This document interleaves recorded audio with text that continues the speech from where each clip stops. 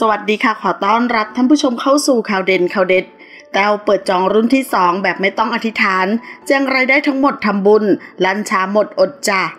แม้จะมีกระแสดราม่าวิพากษ์วิจารณ์อย่างหนักของนางเอกสาวแต้วนัทพร ที่เกิดปิ๊งไอเดียสุดปัง ผลิตเหรียญเจ้าแม่นาคีรุ่นวีรสตรี ต้านโควิด เพื่อนำรายได้ทั้งหมด ไปมอบให้กับสถาบันบำรัดนารดุลและมูลนิธิรามาธิบดี ซึ่งผ่านไปเพียงแค่พริบตาเท่านั้น แต่ยอดจองรอบแรกก็เต็มอย่างรวดเร็ว แต่ก็ไม่วายกลับถูกวิพากษ์วิจารณ์อย่างหนักว่าเป็นการฉวยโอกาสหากิน รวมถึงมีกูรูกุมารทอง และเครื่องรางของครั้ง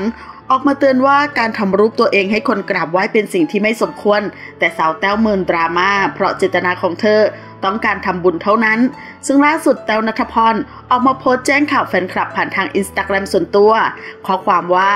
อธิษฐานเอาเด้อ มันคือสิมีจักซาดรุ่น2มาแล้ว มาแบบไม่ต้องรออธิษฐานใดๆเพียงแค่รอ pre-order ตั้งแต่วันที่ 5 พฤษภาคม เวลา 18 นาฬิกาตรงจนถึงเที่ยงตรงวันที่ 6 พฤษภาคมเท่านั้น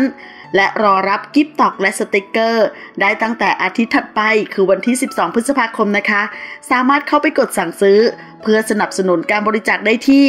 ลิงก์อินไบโอเลยนะคะ โดยรายได้ทั้งหมดไม่หักค่าใช้จ่ายแล้วจะนำไปบริจาคให้กับมูลนิธิรามาธิบดี โครงการป้องกัน และช่วยเหลือสถานการณ์แพร่ระบาดของโควิด และสถาบันบำราศนาราดุลกรมควบคุมโรคต่อไปค่ะ ช้าหมดอดนะคะ รอบนี้หมดแล้วหมดเลยจริง ๆ ค่ะ ขอขอบคุณข้อมูลจากข่าวสดขอบคุณค่ะ